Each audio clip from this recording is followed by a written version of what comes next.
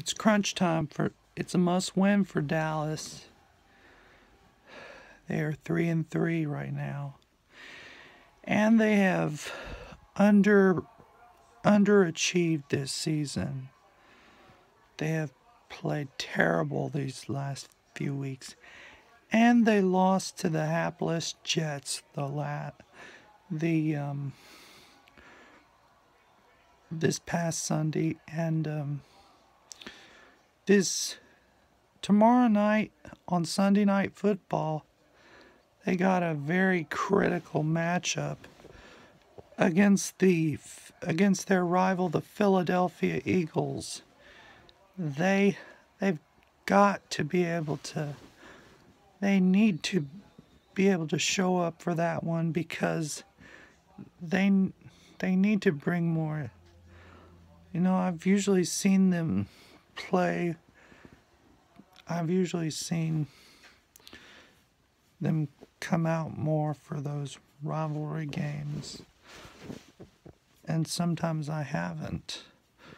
But um, we'll see if this, if they come out with more intensity for this game, because they have not, they have not lived up to what they could be. Because, um, and this is just, they've just been terrible.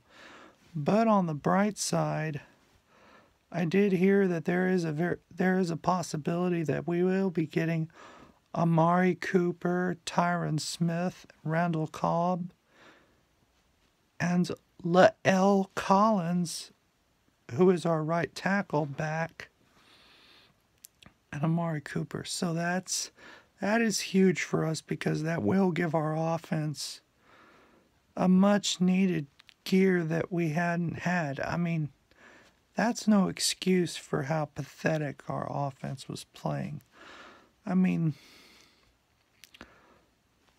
our offense, those were big losses for our offense, and because those were big, big name players that really gave our offense the, um, a, a really a gear that that really gave us a higher gear that we needed, but it just wasn't there. Like Amari Cooper, when he, before we got there, our offense was just non existent last year.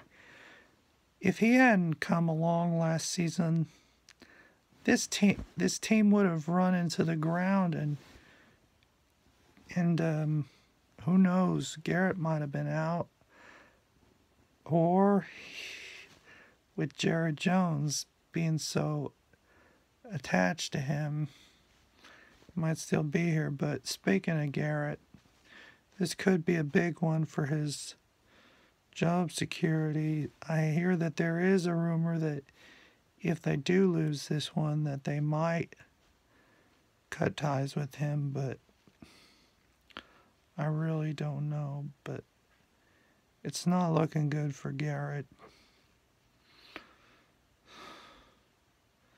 And um, you're and uh, Jerry Jones, he's just a owner who doesn't want who doesn't want to hire a real coach and stand aside. He just wants to bring in these coaches that are puppets and that he can do whatever he wants with them. We just gotta, you know, he just needs to um, stand aside and bring in someone who knows what they're doing. This is a must win, guys, and our Dak needs to have a big game and Zeke needs to get off his high horse and put up or shut up because he he needs to stop running his mouth and actually actually put up some perform because he has underperformed. And we pay him all that money and he has not performed as well as he should and he needs to be and he needs to live up to because he has not lived up to that big name running back that we thought he could be.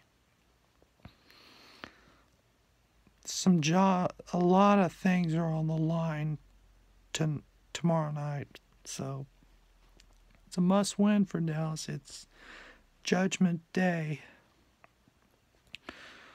I, I don't know. We'll see what happens tomorrow night, but Cowboys are in a bind. Their backs are against the wall. We'll see.